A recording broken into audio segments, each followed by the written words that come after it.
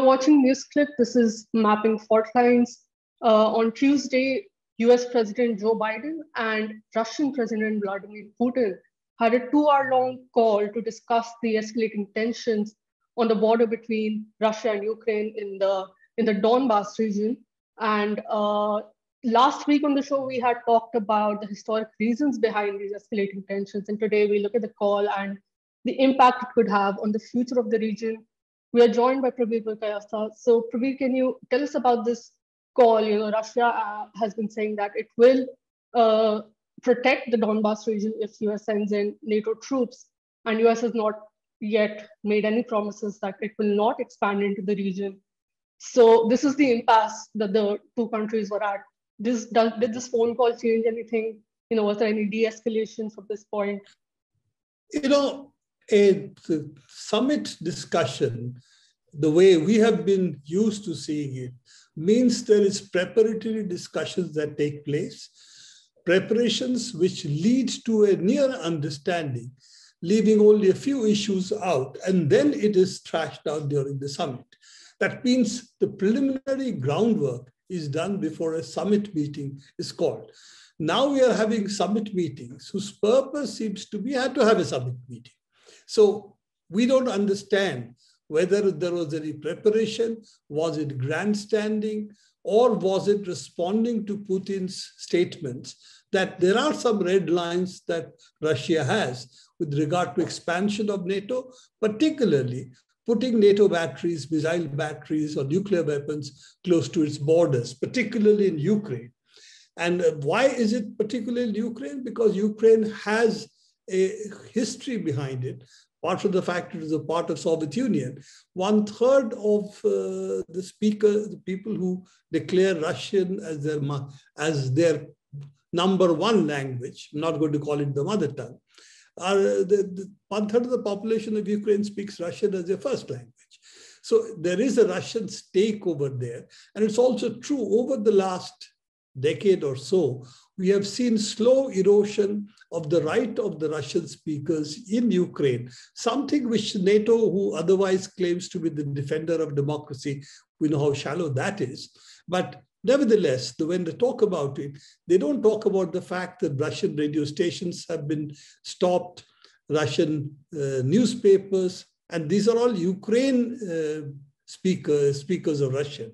They're not Russian, Russian in this sense that all of this has taken place and there is a clear ri rise of what would be called anywhere else right-wing forces owing allegiance to essentially the, uh, the Nazi sympathizers or supporters or collaborators, if you will, of Ukraine during the Second World War.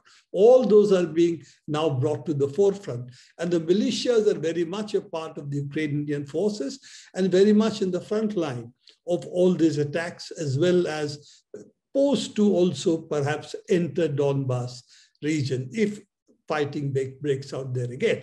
So Russia's response to all of this has been twofold.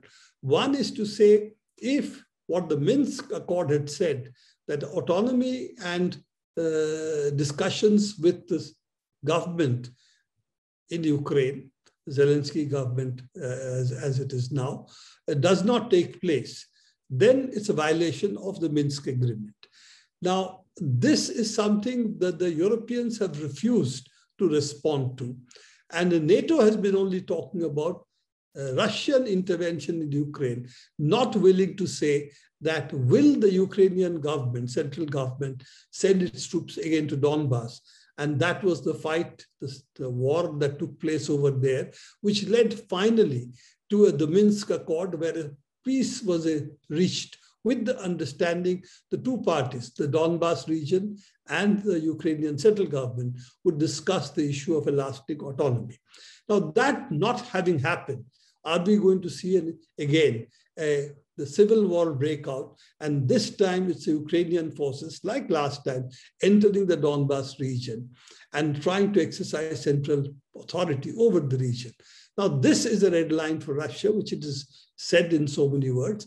But the other part which they have raised is the NATO expansion. And the fact that NATO expansion, while it was said that it will not expand beyond the German borders. This was the uh, undertaking they had given to uh, Gorbachev. That has not only not been kept, it has moved, as somebody has pointed out, 600 miles uh, east of that border. So given that Russia has now said, we have a red line, we don't want any more NATO missile batteries on our borders. And if this happens, then it is an existential issue for Russia. But more important than that, I think is the issue, will the NATO forces, will the United States back the gov central government in Ukraine to intervene militarily on Donbass? And if they do, then of course Russia will protect Donbass. That's what it has been saying. So the ball is really not on Russia's court. It is really on the court of the NATO powers. And the fact that they're not willing to go to what, to go the, the course that themselves had agreed to in Minsk. I think that is the key issue on the issue on this Donbass uh, region and the tension that is building thereof. And we don't see that we have resolved anything over there, except the fact that now Biden, for the first time, has said they are going to set up a mechanism with Russia to discuss the expansion of NATO and Russia's, whatever Russia's reservations might be. And the fact that they're going to discuss it also seems to be uh, causing some repercussions, some uh, misgivings, some fear in the other NATO partners who, in the expansion that NATO has had, are also on the borders of Russia. And I think that's something that we now have to see what would be their reaction and what is the, you know, the US reaction to that going to be. So probably the next question then would be that, that you know, what has been the response of the other countries who have joined NATO, uh, you know, after the fall of the Soviet Union? What has the response been to, to these discussions that are going on? I think the fact that Russia has now started laying down some red lines means that these countries are worried that is it possible that Russia might say that you remove the missile batteries, you don't put NATO, NATO troops uh, on the borders. Is, are those things possible? You know, when the NATO expansion took place, Norway and a couple of other countries in NATO had suggested that, you know, we don't really have to position troops, batteries, and so on. We can give an undertaking that we'll not put nuclear weapons in these countries. You will not put missile batteries in these countries, even if they join the NATO.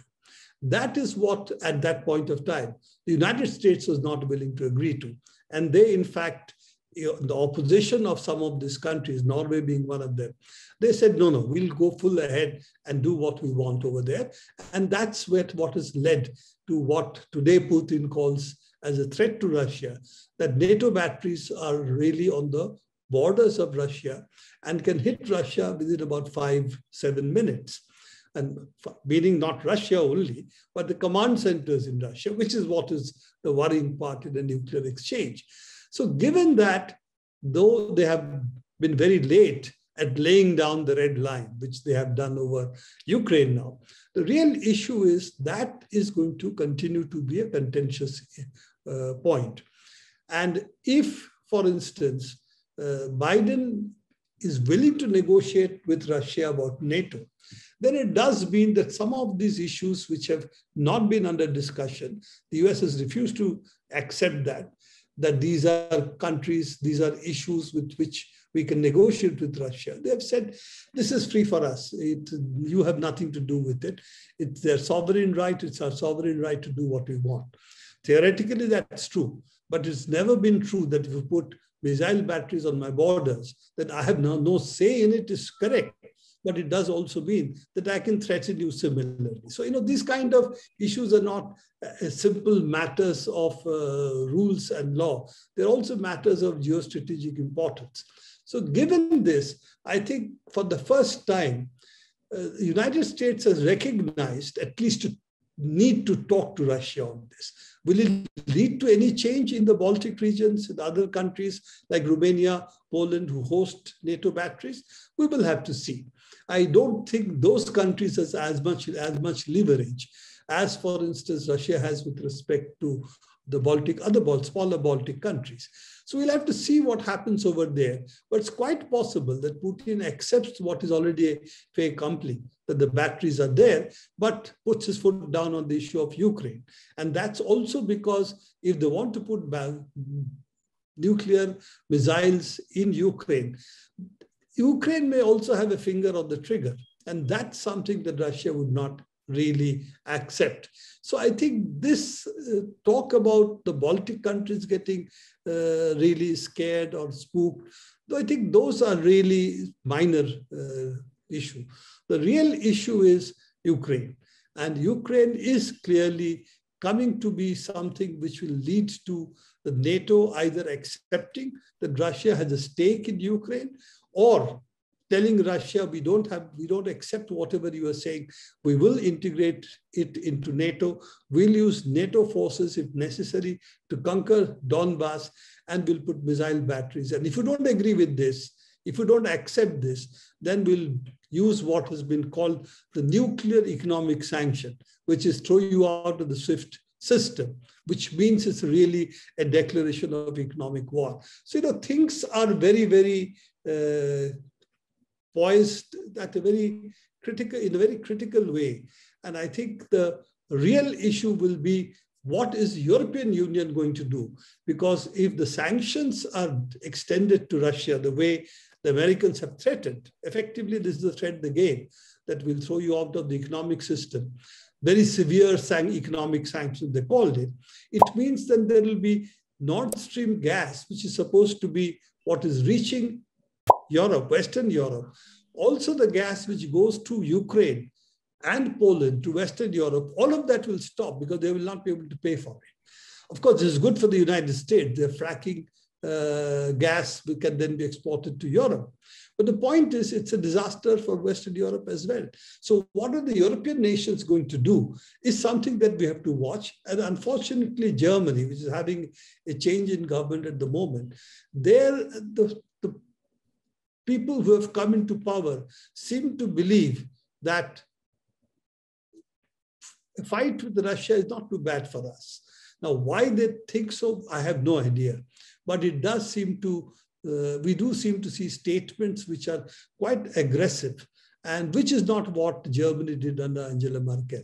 So we'll also have to see the new government in Germany, how they behave and in Europe, let's face it, Germany is the major player, followed by France. So these two countries are really going to decide how the European Union will respond to this. At the moment, the position is not clear what the European Union and the European powers in NATO are going to do. And I think a lot of that would also depend on what approach they take to the issue of Ukraine. Thank you for talking to us today, Prabir. That's all the time we have. Keep watching Newsclick.